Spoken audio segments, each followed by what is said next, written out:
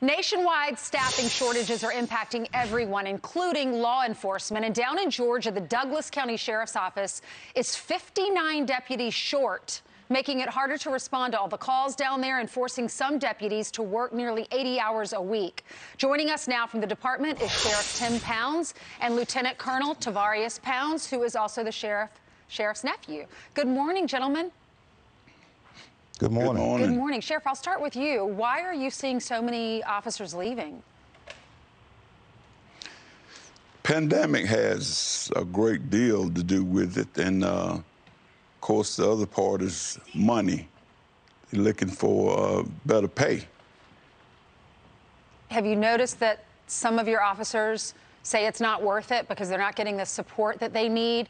And I'm sure you're giving them the support, but from some of our local leaders or our national leaders that say they want to uh, strip your pay, they want to strip your budgets? If majority of my guys, it's 386 officers, not officers, 386 employees all total. Yes, sir. And uh, most of them are loyal. So the, they know a light is gonna come. They, we just don't know when that light's gonna come. So they work diligent, just as hard as they can, week by week by week. But I took a little slack off of them. I took the command staff and put them out there on the street, kind of get these guys a break. They have to do it every month. Mm-hmm. Some do nights, some do days, but loyalty is what's holding mine together right now. Yes, sir. Uh, Lieutenant Colonel, how about you? How many hours are you working extra per week, and are you getting burned out? I'm actually not working a whole a great deal of hours overtime uh, because I'm on the command staff, and in my position, I'm not allowed to get overtime. So our people, our frontline workers, are do, doing a great deal of overtime, trying to make ends meet, trying to be at all places at one time, just trying to make the county safe. Well, that's so nice of them to work that extra time. I'm sure they love it when they get their paycheck, but I mean, I'm sure they're exhausted and they need to hire more people. Sheriff, when people come in to apply for these jobs, are you hiring them immediately? What's the process?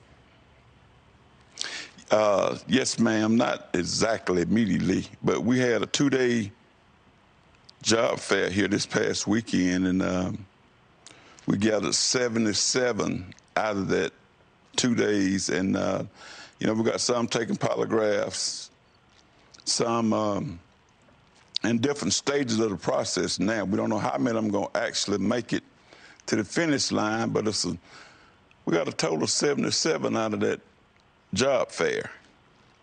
77 that you hired? Uh, We ain't hired yet, but we're in the process now. If- Okay. If they make it, Yes, sir. you know, some of them of- may not pass the polygraph or All right, Lieutenant Colonel, the what, others, what's the other test, agility test? Physical agility Physical, test. yeah, they some of them may to, not be able to pass that test. They have to pass a physical agility test. They have to be able to qualify with a sidearm.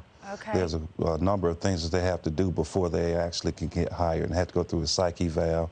Got to be able to pass a medical evaluation. I hope the majority pass so that they can help you protect your community. Lieutenant Colonel, what about the community? What are they saying? Are they worried about this problem?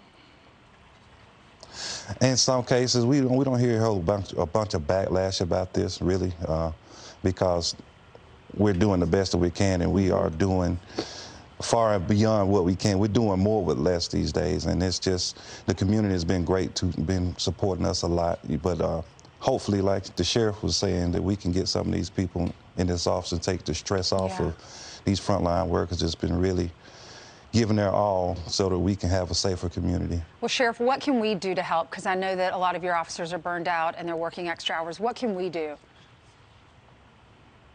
Well, kind of the same thing the community does. Communities have really stepped up for us because we was already a community-oriented sheriff's office. Yes, we get out there among our people and play ball with them and shake hands and find out exactly what's going on with them. So we are in great contact with them. Well, guys- and they talk to us. They don't have anything to hide from us. They We're up against something. a hard break. Thank you for your service.